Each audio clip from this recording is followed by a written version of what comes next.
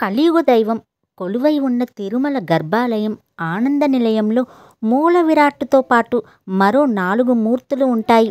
నిత్య సేవలు భోగ శ్రీనివాసుడు అయితే సొమ్ము అప్పగింతలు కొలువు శ్రీనివాసుడికి. ఉత్సవాలు శ్రీదేవి భూదేవి సమేత శ్రీ మల్లయ్యప్ప స్వామివైతే భక్త జనావళి కడగండ్లు కోరికలు తీర్చే భారం మాత్రం నిత్యం వారికి దర్శనమిచ్చే ఆ అడుగడుగు గండాలవాడిదే. మొదటగా కౌతుక బేరం. పల్లవ యువరాణి సామవాయి ఒక వెండి శ్రీనివాసుడి విగ్రహాన్ని చేయించి క్రీస్తు శకం ఆరు వందల పద్నాలుగులో సమర్పించినట్లు శాసనాలు చెబుతున్నాయి. కౌతుక బేరంగా పిలిచే ఈ మూర్తిని భోగ శ్రీనివాసుడు అని కూడా అంటారు. రోజువారీ దీపారాధన నైవేద్యం అభిషేకం ఏకాంత సేవ వగైరా అన్ని సేవలు ఈ భోగ శ్రీనివాసుడికే జరుగుతాయి. ఆగమ శాస్త్రానుసారం కూడా ప్రతి ధ్రువబేరానికి కౌతుక బేరం ఉంటుంది. ధ్రువబేరం అఖండ భక్తకోటి ఆర్తిగా దర్శించుకునే శ్రీనివాసుడి మూల విరాట్. దీన్ని ఆగమ పరిభాషలో ధ్రువబేరం అంటారు. యోగ భోగ విరహ రూపాల్లో కాక వీరస్థానక విధానంలో నిలబడి ఉండే ఈ ఈ ధ్రువబేర విగ్రహానికి అనుబంధంగా శ్రీదేవి భూదేవి విగ్రహాలు ఉండవు. ఇది స్థిరమై ఉంటుంది.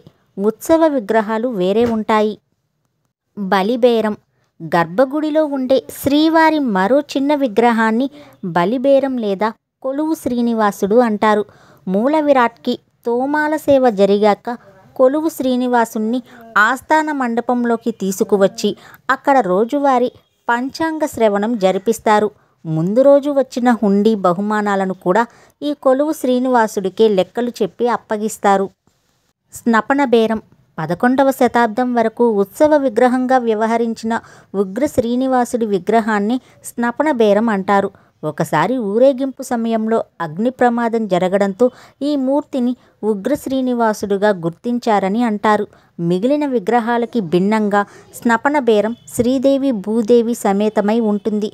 ఏడాదికి ఒకసారి మాత్రమే సూర్యోదయానికి ముందు ఈ విగ్రహాన్ని సర్వాలంకారాలతో ఊరేగింపుగా తీసుకువెళ్ళి మళ్ళీ అంతరాలయానికి తీసుకుని వస్తారు.